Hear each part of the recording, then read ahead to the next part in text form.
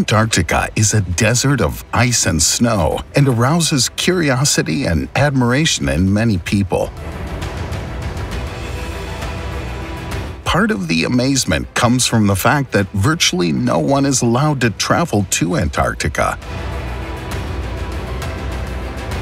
Today, we'll discuss all of the many reasons why Antarctica is such a forbidden continent and why no one is allowed to travel there. Let us know if you could visit any forbidden location in the world, where would it be? Share your thoughts in the comments.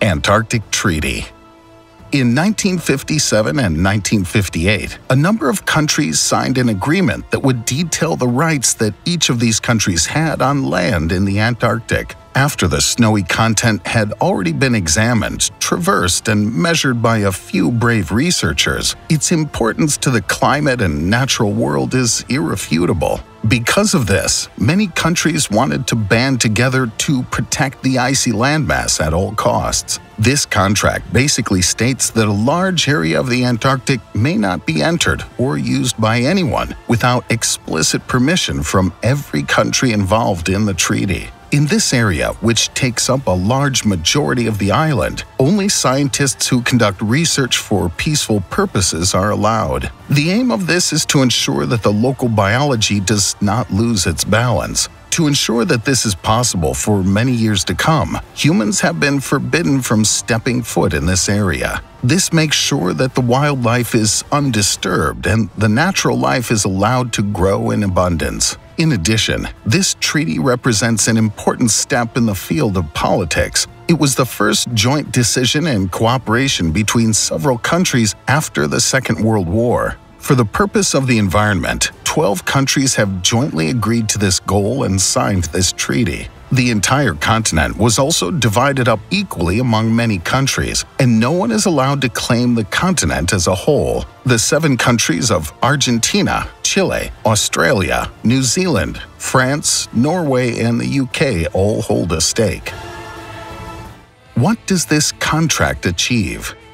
The ban on exploring Antarctica is intended to protect both the environment and individuals. In extreme cases, temperatures can drop to minus 90 degrees Celsius. At such temperatures, the oxygen level in the air drops, brain performance is reduced, and every part of the body is at risk of frostbite. These circumstances are life-threatening and can only be mastered with the right equipment and special training. In addition, a large number of plant and animal species are found in the Antarctic. There are underground mountains, as well as volcanoes and unique types of moss and grass. For research purposes, as well as for peace in the animal's local climate and the ecosystem, all contact with the outside world is strictly forbidden. Protection of animals a large variety of mammals live in Antarctica and must be protected at all costs. Small animals such as krill and beetles, but also seals, whales, penguins, killer whales, leopard seals, blue whales, and various species of birds can be found here. They all have predators, and this treaty helps to ensure that there's a natural balance. Due to the low number of plants, almost all of these creatures are predators, Exceptions are krill, phytoplankton, and zooplankton. They have adapted to the conditions in cold water and survive by drawing energy from sunlight, meaning they don't have to eat other animals or plants to survive. Number 1. Seals there are a total of four different seal species in Antarctica. These include the leopard seal, the southern elephant seal, the Weddell seal, and the crab eater. Their strategy is to go where they suspect their prey will be. There, they wait patiently until an animal appears and then they snap. Seals are mostly harmless to humans. However, in times of extreme hunger or simple confusion, there have been times when a seal attacked a human. Therefore, it's better to keep your distance from these adorable animals, even though they may look warm and snuggly. In reality, they're vicious hunters who will stop at nothing to land their next meal. Number 2. Penguins Penguins spend most of their lives in the water, but come ashore for a short time every day. During the mating season, they gather in crowds and birth their children. The parents then keep the eggs warm with their bodies on land until the little ones hatch. They feed on krill and small fish that they catch while hunting in the water. In the first few weeks after hatching, the parents go hunting and bring the food back to their children to share. Number 3. Whales Whales come to the Antarctic region in the summer and hunt all sorts of marine wildlife. The most famous whale in this area is the killer whale, an aggressive and highly successful hunter. Its prey consists of seals, seabirds, and other smaller species of whales. When they hunt in groups, they're even able to kill animals that are much larger than themselves. Blue whales, the largest animals in the world, have also been spotted in Antarctic waters. They can be up to 33 meters long and weigh 120 tons and feed on krill and plankton, which they filter through their whiskers. The whales in this area are incredibly interesting to watch, as their behavior seems to adapt a bit to the environment they're in, and Antarctica is certainly a unique place. Number 4. Albatross this bird is highly unusual and can be somewhat rare to spot in the wild. The albatross is known for having the largest wingspan of any other bird on Earth. They're recognized as being king of the birds in a way. With outstretched wings, their limbs can measure as wide as 3 meters. This allows them to glide in the air for several hours without having to move their wings. In addition to this, they can even survive on seawater and only need to go ashore for the mating season. This reduces their risk of being eaten by predators and helps them repopulate much more easily than some other bird species. These particular birds are unmistakable for their beautiful white head and black eyebrows. How it all began, the history of Antarctica. As early as the 15th century, mankind's spirit of discovery led to more and more parts of our Earth being discovered at a rapidly increasing speed.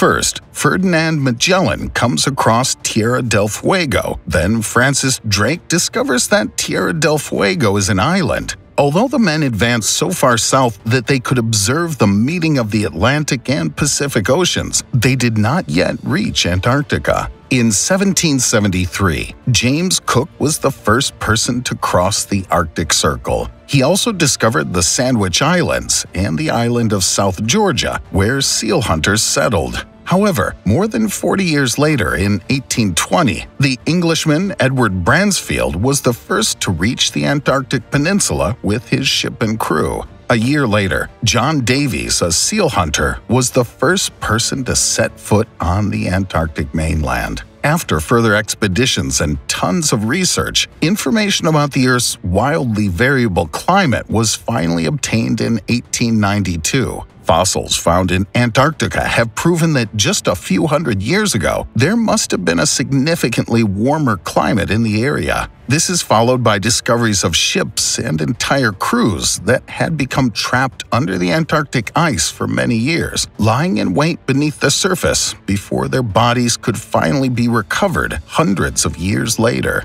In 1902, a geological expedition was carried out with a large group of researchers, but the first attempt to reach the South Pole failed. Nine years later, five Norwegians were the first to reach the South Pole and set their flags on the ground. A year later, the South Pole was reached again, but the entire team died on the way back due to hunger and extremely cold temperatures. In the following years, it was possible to cross the Antarctic by plane, which enabled a more precise mapping of the continent. Americans were also creating a military base on the continent. In the same year, the protection of the Antarctic became more important to countries around the world, as all of this newfound travel was beginning to impact the natural ecosystem. The polar explorer Admiral Richard Byrd Jr. dropped all flags of UN-related countries into the ice to create a symbolic unity. Ten years later, the Antarctic Treaty was established. How close can you get to Antarctica? Unless you're an excellent, highly skilled scientist, it will be difficult to tread too close to Antarctica, but not impossible. There are a few cruise ships that tourists can use to approach the icy desert, but none of these ships stay in the area for very long. There are even a few marked spots where these ships stop and people are allowed to go ashore and explore. However, these areas make up less than 2% of the total of Antarctica and do not allow the entire continent to be explored. Airplanes sometimes fly over, but there was a rule for this in the Antarctic Treaty that no commercial aircraft is allowed to stay in Antarctic airspace for more than 16 minutes. This is mainly due to security concerns, because the place is so isolated that a search unit would take a very long time to reach them if tragedy struck. In addition, there are extreme temperatures, rapidly changing wind conditions, and rapidly falling and rising air pressure that could pose a serious threat for most planes. This makes it dangerous and difficult to maneuver an aircraft over the area. What if you break the rules? Those who enter the Antarctic without a permit can expect a fine of up to 8,300 euros. For other violations of the law on this continent, a rule was built into the Antarctic Treaty. In this case, persons are subject to the jurisdiction of their country if it's one of the seven shareholders. If the person's country of origin does not belong on this list, a decision is made at the international level. How do scientists live? About 4,000 people live in Antarctica during the summer months when it's still cold, but at least the sun provides some light and heat. There are a total of 80 research stations, which are operated by 30 different countries. They go on expeditions, observe wildlife, measure the surface, and study the effects of global warming. In the dark and much colder winter months, there are only up to 1,000 researchers at the stations. Now, you can imagine that it can get pretty boring on such an icy continent with no access to entertainment or loved ones. Going out is not always possible, and especially not for long, and there are not many other activities. However, to give the local researchers a bit of a civilized feel, there are a few coffee shops, supermarkets, and even ATMs there. Do we really know the truth? Of course, there are also conspiracy theories about the isolated place in the most southern area of our natural world. Just like with Area 51 or many other places in the world, conspiracy theories about Antarctica run rampant. Some of these theories claim that certain countries, particularly Germany, set up a secretive base in Antarctica back during World War II. It has been alleged that Germany used the continent to research alien spacecraft, with some people claiming to have seen German powered UFOs entering a tunnel buried deep within Antarctica. No one has ever been able to confirm these theories, but considering how desolate and isolated the continent really is, it makes sense that countries may have used this to their advantage and used it for secret government projects. Many of these theories end up claiming that there's a secret underground city or thriving society buried deep beneath the surface of the ice. We don't really know how these theories came to be, but the likelihood of there being an underground Antarctic base is quite small. Antarctica is a truly beautiful place, but we have to protect the continent at all costs. It's a shame that more humans aren't allowed to explore the icy wasteland, but it seems like these rules and regulations have been enacted for our own good. After all, the continent is super dangerous. What do you think of the Antarctic Treaty and the basic rules for the continent? Let us know in the comments if you feel this is a good or bad thing. Should more people be allowed to visit? Thanks for watching. Be sure to hit that like button and ring the notification bell for more videos.